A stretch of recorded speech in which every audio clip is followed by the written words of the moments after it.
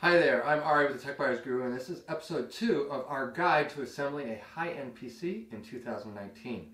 Now, if you caught episode one, you know that we took a look at Thermaltake's A500 ATX case. I stripped it down to show you all the accessories that were included. Then I installed a Silverstone 1000 watt power supply, routed all the cables, and also showed you how to install custom fans. I took out all of the stock fans that the case came with, and then installed some Thermaltake RGB fans as well as a Noctua ultra silent A12X25 fan. But for today we're going to put aside the case and the power supply and all the fans and we're going to be taking a close look at the heart of the system. The motherboard, the CPU, the RAM, and the solid state drives.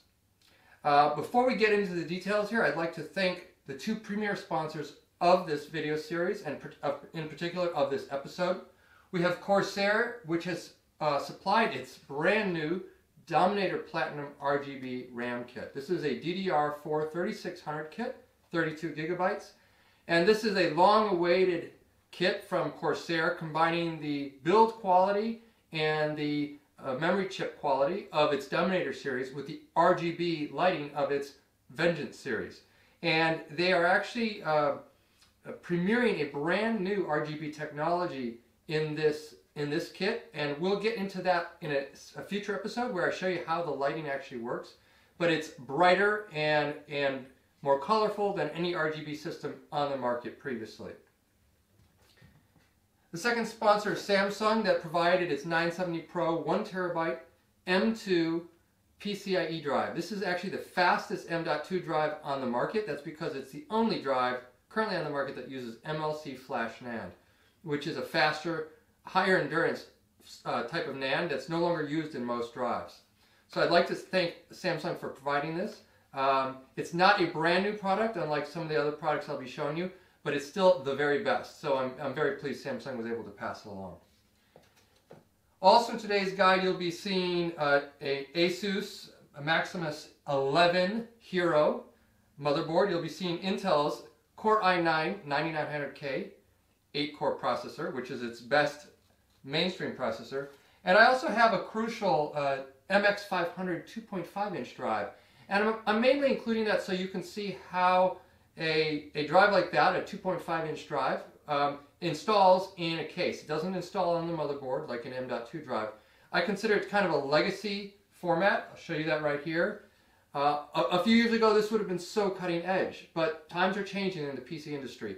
And this is uh, probably on its last legs in terms of its design as well as, as its interface. It uses a SATA interface, which is really on its way out. But I'm going to include it so you can see how that installs in a case. So without further ado, I'm going to actually shift the camera down and give you a better look at these components and go through the steps one by one of installing the CPU, installing the solid state drive, as well as installing the RAM. I'll be back in a second. All right, I'm back. And all you're going to see in this video at this point is the motherboard and the components that are going to go into it. So first the motherboard. This is a Maximus 11 Hero from Asus.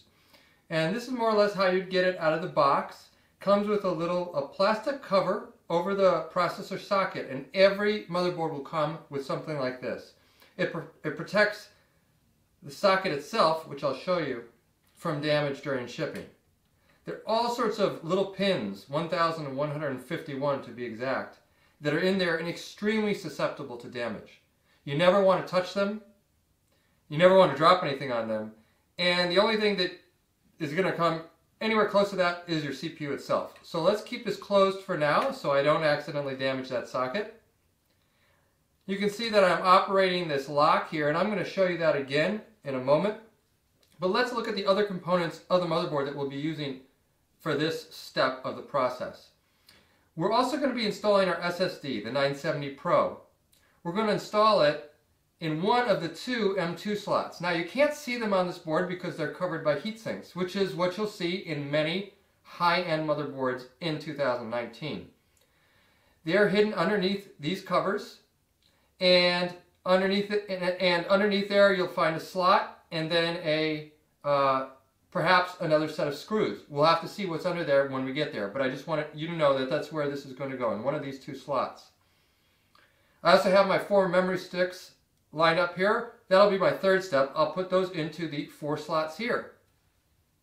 And there are some tips and tricks I have in terms of getting memory to seat correctly, particularly DDR4 memory, which is much harder to insert into motherboard than previous standards like DDR3 and DDR2. All right, on to the CPU installation. Here I have my Intel Core i9 9900K. Now from my point of view, this is actually the most challenging and stressful part of building a PC. Because Intel's socket is very fragile, it's actually pretty easy to damage it during installation. There are 1,151 pins, as I mentioned, underneath this lid. If just one of those is knocked out of place, your CPU may not function. So we need to be very careful at this stage. I'm going to put the CPU down so I don't actually drop it into the socket while I'm handling the lid. To unlock, I press down on the metal bar and lift it out of the way. I then am able to swing the lid up. Notice that the black plastic lid remains in place. It will pop off once we lock the CPU down. Next I have to determine the orientation of the CPU. You might think that, well, the word should be right side up. It's actually not always true. So what you should do is look for the indentations on the CPU. There's tiny little indentations on either side that fit into tabs in the socket. The next step is to very, very carefully lower the CPU into position. I recommend that you fit that indentation into a tab on either side, on one side or the other, feel it set in place, and then lower the CPU down. Now, if you do that correctly, you won't damage the pins underneath. But if you do it askew or drop the CPU accidentally, you actually could damage those pins. The next step is to lower the lid underneath the locking bolt, which again, you do not actually need a screwdriver to undo that. And now I'm going, I'm actually going to lock the CPU down. For a lot of people, this is the most stressful part of building a PC because you feel so much tension on this lock, you think you must be crushing your CPU, but you're not. I'm going to lower down this locking bar. The plastic lid will eventually pop off. Plastic lid popped off. I lock the bar underneath the catch there. I remove this, save it for later, and my CPU is installed. Now, you might think, how do we know that it works? Well, I've done this enough times to know that that probably didn't crush the CPU, although it felt like it was doing that. So you just have to have faith that as long as you lowered that CPU into position very, very slowly and carefully, you didn't ruin the CPU. Now, we've got that in place. Now that the socket is actually covered by the CPU, it's very hard to damage. So I can move on, work on my motherboard without worrying about the socket. The next thing I'm going to do is install this 970 Pro SSD. But before I do, I want to show you something interesting about the way that M2 sockets slots are designed. Let me remove the cover on this number one slot, and then I'll, recover, I'll, I'll remove the cover on number two. By the way, you do need a special screwdriver. This is not a number two screwdriver. It's a, it's a, essentially, well, it's a number, it's a number zero screwdriver. A very fine tip screwdriver. Uh, I recommend actually just getting a jeweler's uh, screwdriver set if you can't find a number zero somewhere on its own. If you try to unscrew anything relating to an M2 drive with a standard number two uh, screwdriver, you'll strip the screws. So I've removed, this is the heatsink cover. There's a thermal tape on one side here, okay? That's not to be removed. Uh, if I had just removed, taken this out of the box, this actually would probably have a plastic kind of a, a, a, cover over it for shipping. That does get removed, but the tape itself is not like glue that you have to remove. This is actually part of the thermal uh, solution here. I'll put this down so it doesn't, that tape doesn't pick up any dust. And then I'm going to remove the other cover. Again, very small screws. And they actually are they are actually often applied with a, a Loctite formula, like a blue Loctite, to lock them in. So you do have to use quite a bit of force, which is challenging with a small screwdriver.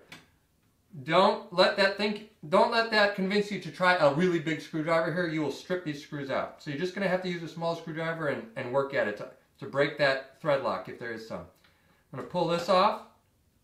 Okay. Again, that has thermal tape applied. Now, these sockets are actually designed differently, and I'm going to show you a close-up here of what I mean.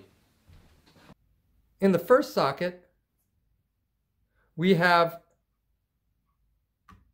no additional screw. So actually the, the screw that goes through this lid actually holds the M2 drive down. Here we actually have a screw. So that's a different design. Asus is using two different designs of slots on the same motherboard, which is a little bit confusing. You have to remove this screw if you're going to install an SSD here. I'm actually going to do it by hand because I already loosened it. And be careful not to lose these screws. Often the motherboards don't come with extras. The other thing I want to show you, and I, I have to really zoom up close here, is a special legend on each socket. Let's see if I can show you what that says. It says PCIe X4. That means for a PCIe drive, like the 970 Pro, it's rated at a full X4 speed. For SATA drives, it says X, which means it will not function. You cannot put a SATA drive in this slot. Okay? And then it does say that it conforms to Intel's RST standard. Now up here I have another slot. Let's look at the legend here. PCIe X4 standard, full speed. For SATA drives, we have a V or a check mark. That means it does support SATA drives. And again, it's, it, it supports Intel's RST T standard. So why is it that we have two sockets that support different M2 drives? Well, let me show you. Here I have two M.2 drives. For all intents and purposes, they look identical other than color and labeling. But actually, if you look very carefully, you'll see that there's an extra notch in this drive. This is actually a SATA drive. It's a Samsung 850 EVO. This is a PCI, PCIe drive it has only one notch in its connector. SATA, PCIe. These are not interchangeable. Even though they both go into an M2 slot, some M2 slots will not support this standard. All M2 slots will support this standard. We've had a lot of viewers and readers get confused about this and say they buy a SATA drive like this 850 EVO from Samsung and they put it into a slot that's only rated for PCIe drives. And then their system won't boot or recognize the drive. You do have to be careful about this. Take a look in your manual or, or look at the legend that's printed on your motherboard if there is one to make sure that you're installing a SATA M.2 drive into the right slot. Again, with PCIe drives like this 970 Pro we're using, any, PC, any M2 slot will support it. All right, now that we have that clarification out of the way, we can go ahead and install our 970 Pro. As I mentioned, we can put it in either slot. They're both rated at X4 speed for PCIe drives, which is what you want to know. Now, they both also have these nice heat sinks. One's a little bit longer because that slot actually supports, this, uh, this slot will actually support a, a, a, much longer standard of M.2 drives, the um, 110 millimeter standard, but essentially no drives use that standard. This is an 80 millimeter drive, and that's the standard that most modern drives use. All right, so let's see. Eeny, meeny, miny, mo. It really doesn't matter where I put it. But for this purpose, just because it's a little closer to you, I'll put it in here. Now, it does slide into this connector, and then it sits kind of awkwardly askew. And you may wonder, what am I supposed to do? Can I push down on it? Well, it's spring-loaded, so I do indeed push down on this drive, and then I have to get my little screw, because this particular slot does have a separate screw here, this is a tiny little screw, very hard to handle. It's going to probably take me a few tries to get it. Let's see if my, my screwdriver is just barely magnetized, so it may be able to hold this little screw. Yes, it is. That is such a helpful oops, attribute for a screwdriver, especially with these tiny screws. But this always takes a few tries. We're talking about a, a small screw hole and a very small screw. And at the same time, I'm having to hold down the SSD with one of my hands. Okay, I think I got it. All right, and, and now I've got this secured. Now, a lot of motherboards actually just run, your, run the SSD just like that, and that's fine. For a really high performance SSD like the 970 Pro, heat buildup is an issue. So then we do want to install this heatsink. It's more or less optional, but I'm going to go ahead and do it.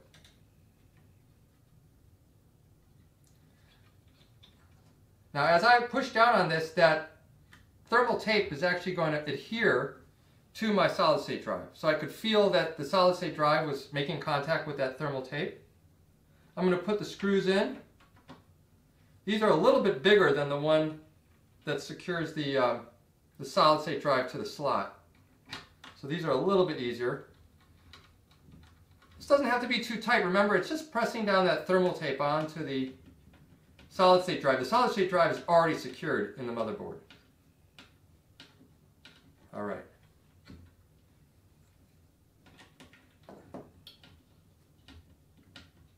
A little bit more. There we go. It's feeling okay. Good, secure. Now, I'm going to leave this empty for now and put this cover back on. I'll be back in a second. All right, I'm back. My 970 Pro is installed, my CPU is installed, my heat sinks are back in place on the M2, M2 slots, um, and we're good to go in terms of storage. Note that a lot of motherboards have one slot and some, some motherboards today actually have three slots. Um, and like I said, these are going to become the new standard. And that's because PCI drives can't use, say, a SATA cable like an old-fashioned 2.5 or 3.5 inch drive. They require this interface on the motherboard. And manufacturers are coming with, up with all sorts of solutions like caddies that fit multiple SSDs into, say, uh, a PCI slot. We'll see what manufacturers do, but I promise you that in a decade there will be no hard drives being attached by cables. With that said, for this tutorial I am going to show you how to install a 2.5 inch drive and I'll get back to that in a second. Of course we're going to have to do it inside the case so it takes some juggling. Before we get to the 2.5 inch drive I'm going to install the RAM. Again this is Corsair's Dominator Platinum RGB. This has true metal heat sinks. Trust me when I say these are very hefty. I think they're made of aluminum and uh, and they're quite attractive. They're going to be even more attractive when the lights come on once, once we boot up the system. But the important thing here is to note, and I'll give you a close-up of this, that these are notched to go in just one way. As you can see here, the notch in the RAM is actually not in the dead center of the, of the stick. It's offset slightly. And therefore, of course, the notches in the slots are also offset slightly.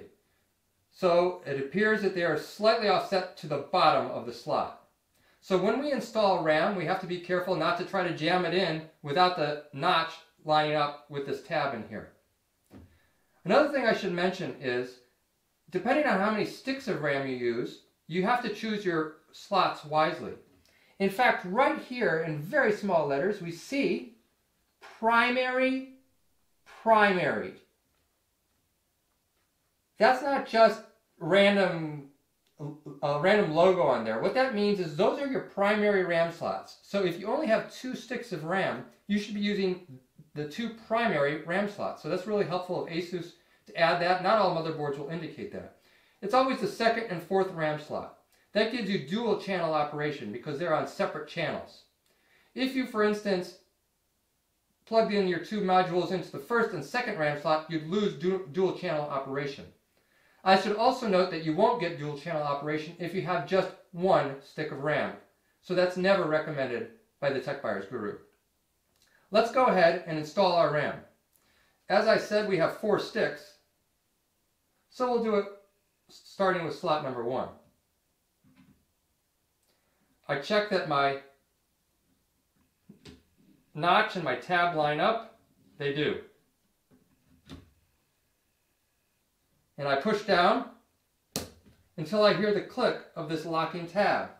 Okay, I'm going to switch over to the original view here so you can see me install the other three sticks. I should again emphasize that DDR4 actually has a fairly snug socket. A lot of readers and viewers of the Tech Buyers Guru have come to me saying, hey, my, my system won't boot, I installed my RAM, there's something wrong with it, etc., etc. Well, often the, the very first problem I tell them to look for is a RAM stick that isn't fully inserted. I'll show you what I mean. Again, I checked for my tab and notch line, being lined up. I had that wrong, so luckily I didn't press down on it.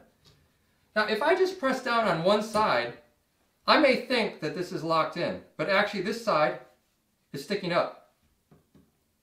and I can't actually press it down. So I think, hey, I'm done. It doesn't go any further, right? Well, that's because I actually put my RAM in a little bit askew. I really have to work to put it in straight down and then press, press down on both sides. I heard both sides snap. Actually, as I, as I look at this, I see that this stick wasn't actually fully inserted. If I had in, if I had tried to boot this system with that RAM stick just a millimeter up, it wouldn't have booted. I would have had a failure boot and I would have thought, my system's dead, it's never going to work. Trust me, a lot of people have come to me and said, my system's dead, it's dead on arrival, it's all junk, I want to return it. It's because one of these sticks wasn't fully inserted and you just saw I had that very problem occur. Let's go with the next stick. Again, very firmly on both ends. I hear a snap on both ends. I note that they're lined up. That one's in as well. Fourth stick. A very snug socket. I have to press hard. They're all lined up. I see that they, they all appear to be fully inserted. I check my locks. My RAM is inserted. That is the number one cause of a failure to boot. It's not a failed motherboard or bad RAM or a bad CPU or even a busted socket. It's that someone has failed to insert these RAM sticks, just one of them, all the way. Even if two or three of these are fully inserted, your system will not boot if one of those RAM sticks is not fully inserted. So I hope I emphasized that enough there. Okay, so you know what? Our motherboard is ready. And I'd love to say that, hey, next step is cable it up and away we go. But like I said, I'm going to show you how to install a 2.5 inch drive.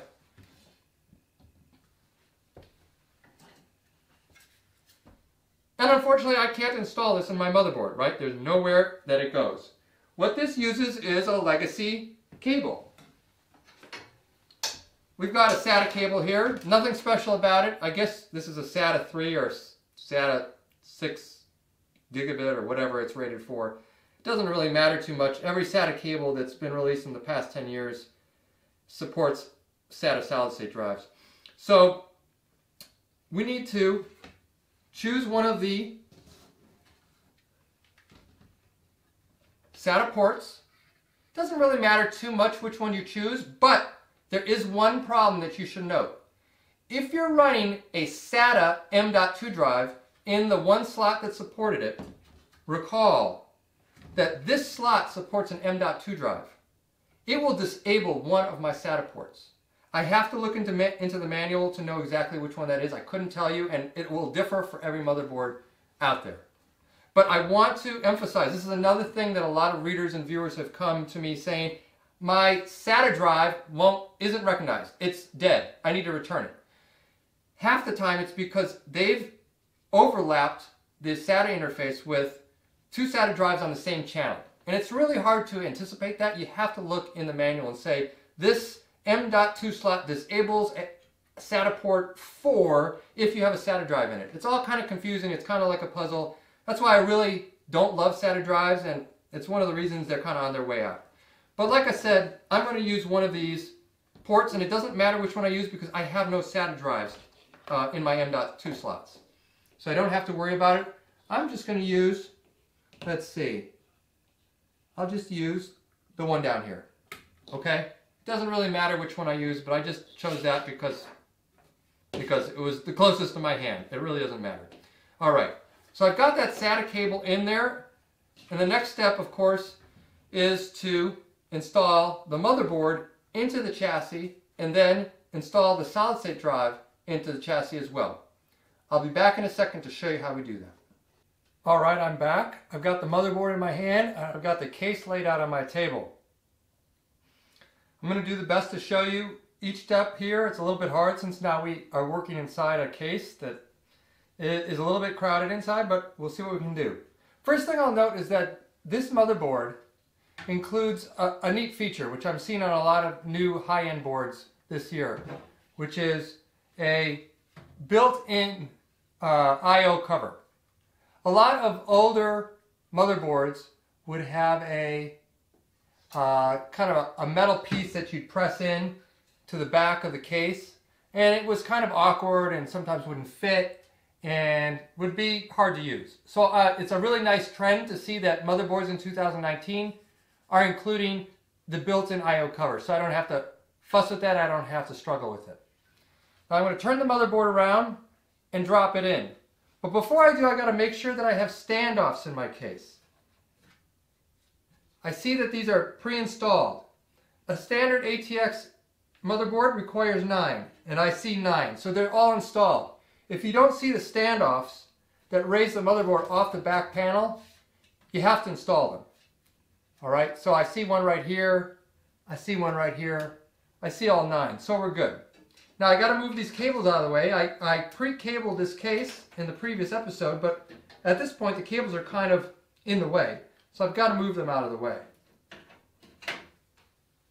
Now I'm going to drop this carefully into the case, lining up those holes, the hole on the motherboard with the standoffs.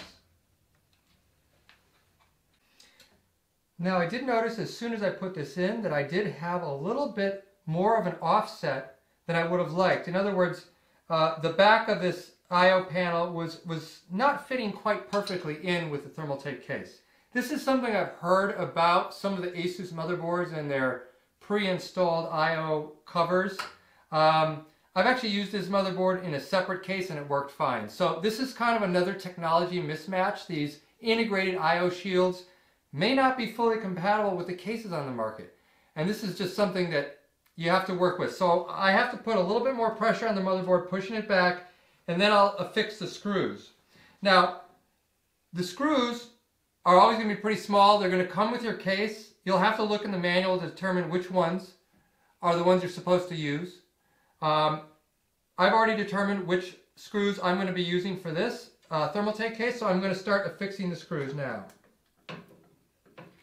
Again, there are nine holes that I need to affix. I won't do them all on camera, but I'll do a few so you see. There's going to be three in a row against the back panel here. Then there'll be three kind of in the middle of the board, and then there'll be three on the far side of the board.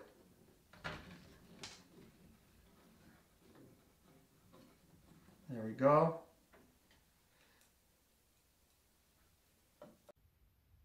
All right, next up is attaching cables.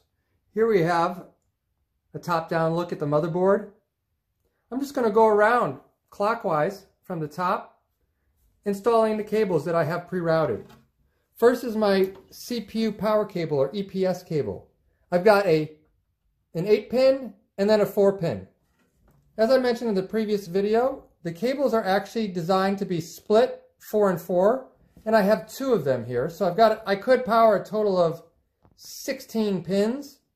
I'm only using 12 in this motherboard. So I'll take four from this cable and install it in the four socket. Snap it down. That one's in. Then I'll take the other. Got to actually twist it around here.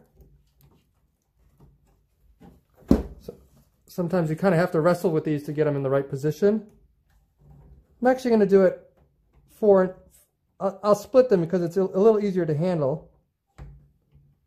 Four at a time.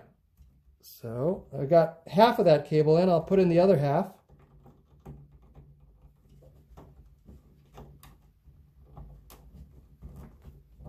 All right, I got my CPU power cables installed and I've got kind of one dangling. This is the one we're not going to be using, so I'll tuck it away down below. All right.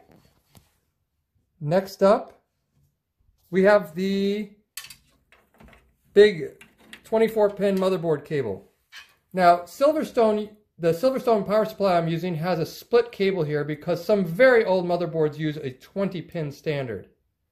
Well, in this case, we have a 24 pin. So I have to use both halves of these.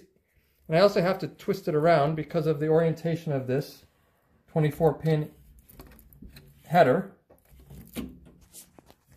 So requires a little wrestling.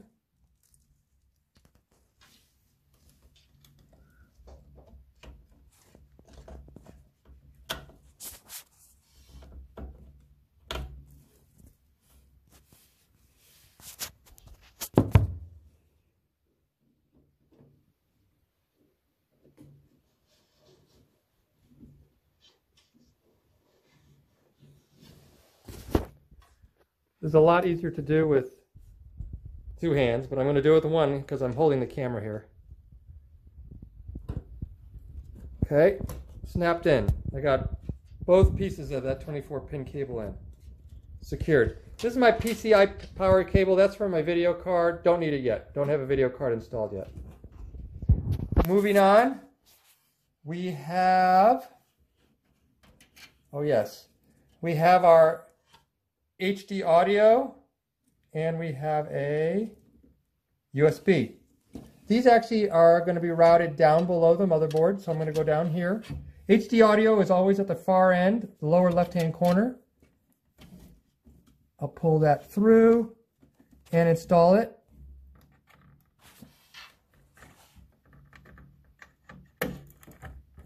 Okay. USB 2.0, I see some USB 2.0 headers here. Make sure I have the cables, the, uh, the pins aligned the right way. I see my nine here. I got to line it up so it, the nine holes fit up with the nine pins. Done. Okay. Now, we also have some fans. Now, this is coming from my Thermaltake fans. They're on a uh, splitter. They're a three-way splitter. And I also have this fan from the front. This is my Noctua fan. I see a bunch of fan headers here. I can use any of them. I'm just going to install, let's see, this says chassis fan 2 here. This one says water pump. Doesn't really matter too much if I use that for fans. So let's get these two fan PWM connectors connected.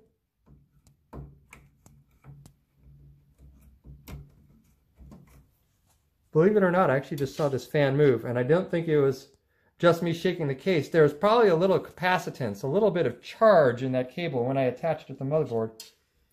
It actually spun that fan. All right, um, the last thing is the front panel connectors, which are really annoying because they're so, so tiny. These little things. Luckily, Asus uh, supplies a, a, a little adapter that makes it easier so I'm going to show you that little adapter here, right? This makes it a lot easier because then you can you can kind of hold this up, attach all the connectors at once, and then connect it to your motherboard. So I'm going to go ahead and do that. I'll be back in a second. Okay, I have my front panel connectors connected to this little Q connector or whatever Asus calls it. I'm not really sure. They all have different names for it. Uh, Asus ASRock and Gigabyte all have their own solutions for this. As far as I know, MSI still does not have any adapter like this, which makes it a real pain to attach these front panel connectors to an MSI motherboard. But anyway, you can see that there's some that say plus minus, and help, helpfully they are labeled on the cables as well. See, the LEDs have a plus minus. I think the reset switch and the power switch actually don't require a plus or minus indicator. So I just plug those in so you could see the labels. Now we put it in over here. This lower right hand corner is where we're going to see that.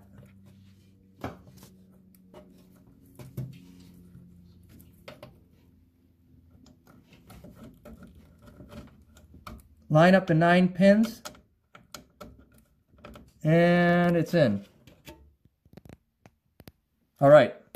Now the last cable we have to do with deal with this at this step is actually the SATA cable. I removed it previously um, while I was installing the motherboard, but I have it right over here. All right, here's the back of the motherboard. I'm going to be installing my solid state drive over here. The case came with this caddy. I need to attach the solid state drive. There are actually multiple ways to attach the solid state drive to the caddy. Solid state drive has four screws on the bottom, uh, screw holes, and four screw holes on the sides. Thermaltake actually supplied some nice rubber grommets so that you can install your solid state drive using the side holes. And what that allows you to do is see the label. Now you might think that that's not that important, but a lot of people who are a little bit brand conscious won't want this arrangement, where if I use the bottom holes, I'd see this label. And of course, this case has a glass panel. So this label versus, you know, the branded label, well, some people would probably prefer the branded label. So I'm going to get the screws. This is actually the only bag of screws that Thermaltake provided where the screws are actually labeled used for 2.5 inch solid state drive. So I install or I seat the solid state drive into the rubber grommets and then I'll affix the screws. As I noted, these are special screws just for this application. I actually, I really do think that, uh, that they did this specifically for the aesthetics. So I'll screw it down. Because like I said, you, you could install it using the traditional screws through the, the bottom of the drive.